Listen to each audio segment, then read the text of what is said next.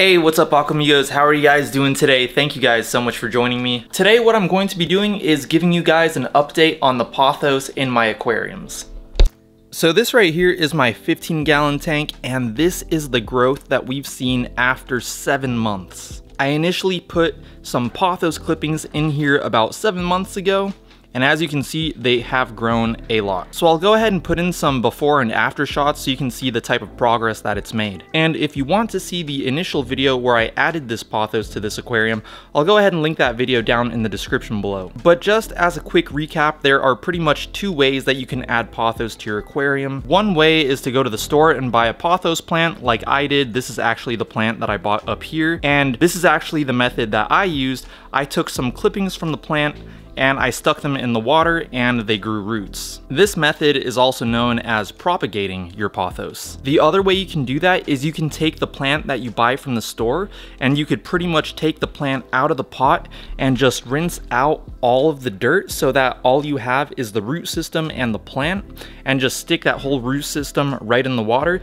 and that's the other way you can do it. And the advantage to adding pothos to your aquarium is that hopefully the pothos will eat up your nitrates in the tank tank. If you have a tank and you struggle with high nitrates in that tank, I would recommend trying out some pothos because pothos is a very quick growing plant and it does a pretty good job of sucking up nutrients. Now, if you take the route that I took, which is propagating pothos, what you want to do is you want to make sure that you clip the pothos at a node. These little joint looking things are called nodes and you always want to make sure that you clip below the node because that is where the roots will grow from. If you just clip off one of these stems and cut it like right here to try to propagate it, that won't be able to grow any nodes. And after I took my clippings and added the pothos to my tank, I noticed that roots started growing after about two weeks. Now, one thing that you may have seen other people doing online, and I actually also tried this myself, is I stuck some pothos clippings into my filter and they did grow inside the filter. I actually had two, um, and this is them right here. I ended up taking them out of the filter because what I noticed is that they grew much less than the ones that I had outside of the filter. So this one right here, I had outside of the filter just in the tank. This one over here, I also had outside of the filter and just grew it in the tank.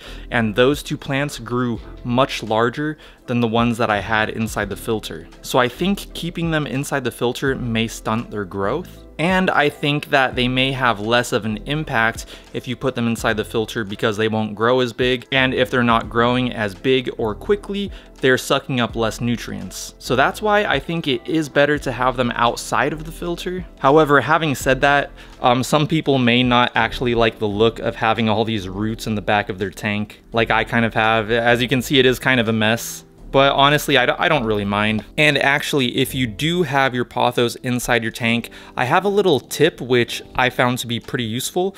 What I did is I got these um, black suction cups and I tied the pothos to the suction cups using thread so that I can stick them securely to the side of the glass and they won't fall over or anything. And then what I did is um, further up on the stem, I created a little hook with some garden wire and I just hook that over the side of the tank and I've found that this does a pretty good job of holding the plant in place. And let me just show you guys my other tanks really quick where I also have pothos growing. So here's my 10 gallon tank right here. This pothos plant right here was in my filter until recently. I just recently took it out because I noticed that it wasn't really growing. So I took it out and it's now just, you know, just sitting inside the tank.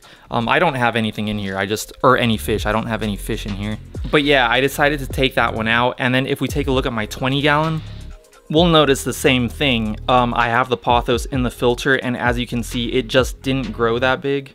So I'm pretty sure I'm going to just go ahead and take that pothos out of the filter and probably use one of those black suction cups to stick it on the glass, just like how I did in my 15 gallon. And I think it probably should do better outside of the filter. Now, when it comes to talking about the impact that pothos has on the water quality of an aquarium, it's not like a magical solution to your water quality problems. It can be used in addition to a fully cycled good aquarium filter, but it won't magically solve solve your problems if you do have poor water quality. Your aquarium filter will still be doing the vast majority of the work, but hopefully the Pothos will help lower your nitrates a bit. In my experience over the past seven months, if you want your Pothos to have a significant impact in your aquarium, you really need to have a ton of it. Before I started recording this video today, I went ahead and did a 30% water change, and then I went ahead and tested my water and check it out. And by the way, I just want to mention really quick, we do have an ammonia reading. It's at 0.5,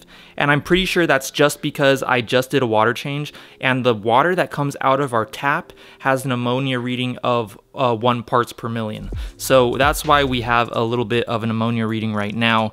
The filter still needs to um, process that, I guess. But um, yeah, check out my nitrates over here. We still are getting a pretty high nitrate reading even after a water change. We're at like 40 parts per million. I know it looks a little bit darker on the camera, but it's about um, 40 parts per million.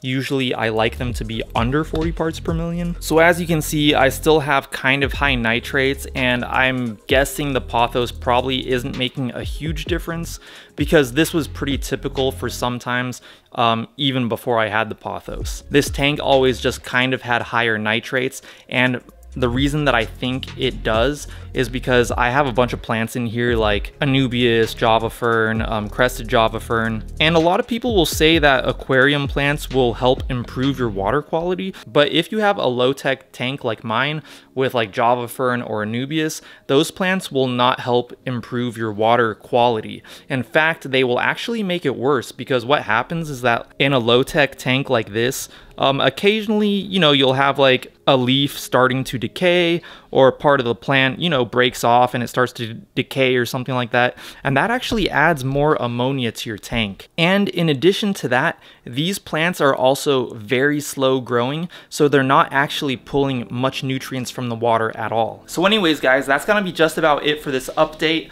Um, just to summarize things really quick, I guess the point that I'm trying to make is Pothos is great. We saw a lot of growth in the Pothos over the past seven months. I think it looks pretty cool, but I don't think that it's a replacement for a filter. It's good to have it in addition to a filter. It does have the potential to help improve your water quality. However, in my experience, I haven't seen a huge improvement yet. Maybe it's just because I don't have enough of it growing yet. And if you do want plants that help improve your water quality, you're going to want to look for fast growing plants Java Fern and Anubias won't do you any good in a low-tech tank like the one that I have. But I think those plants do look pretty cool and I do like them. I just don't keep them for the purpose of improving my water quality. And just really quick guys, I do have a couple shout outs for this video. I have a shout out for Samir Deshmuk. Thank you so much Samir for the support. I have a shout out for Vertigo 117. Vertigo 117 actually just built a new pool pond, so I strongly encourage you to check out his channel. He just made a new pool pond. I'll go ahead and link his channel down in the description below. And I have a shout out for Hope Stubbs. Thank you so much Hope for the support. I really appreciate that. And if any of you would like a shout out in my next fish video, all you have to do is go down in the comments below and comment, I am an Aquamigo, and I will shout you out in next Friday's fish video. And of course, guys, if you guys did like this video or if it helped you out, I would really appreciate it if you went down there and gave this video a like. That would help me out so much. If you would like to see more videos by me in the future, make sure to go down there and hit that subscribe button. Also hit that bell notifications button. I upload new fish videos every Friday. I call it Fish Fridays. If you would like to follow me on Instagram, I'll go ahead and put my handle right here. It's at YT underscore Tobias. And I also upload a bunch of different kinds of content to my YouTube channel, so I strongly encourage you to check it out. Maybe I have some other stuff on there that you might be interested in. And I'll talk to you guys in my next video. Peace!